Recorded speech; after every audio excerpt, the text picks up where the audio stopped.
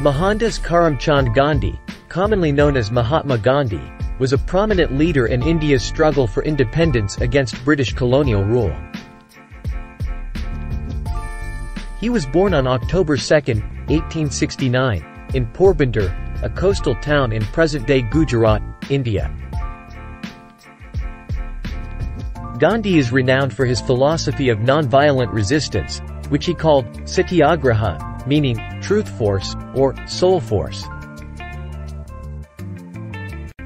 Gandhi's early life saw him studying law in London and practicing law in South Africa, where he became exposed to racial discrimination and injustice, sparking his commitment to fighting oppression.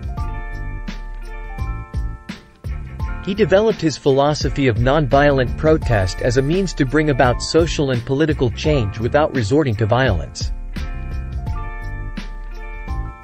Upon returning to India, Gandhi became a leading figure in the Indian National Congress, which was at the forefront of the movement for India's independence. He led numerous campaigns against British policies, advocating for civil rights, land reform, and economic self-sufficiency.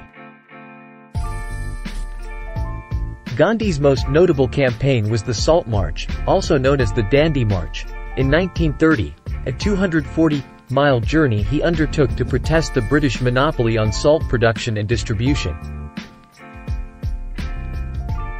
This act of civil disobedience attracted international attention and further galvanized India's struggle for freedom.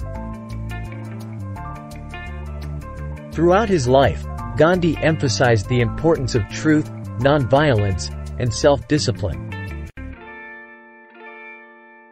He often engaged in fasting as a means of protest and self-purification.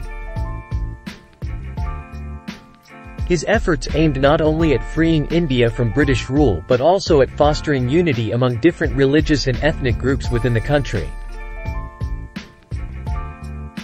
Despite facing imprisonment and hardship, Gandhi's commitment to peaceful resistance remained unwavering.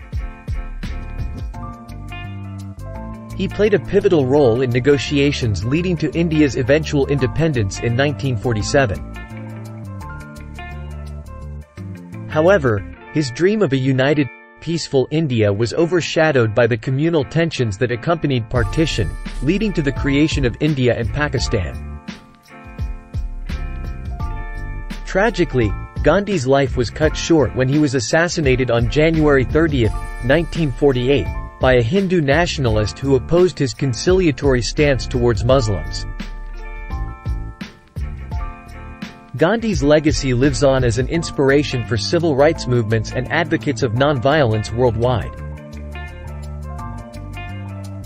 He is fondly remembered as the father of the nation in India and remains an enduring symbol of peace, justice, and the power of moral conviction.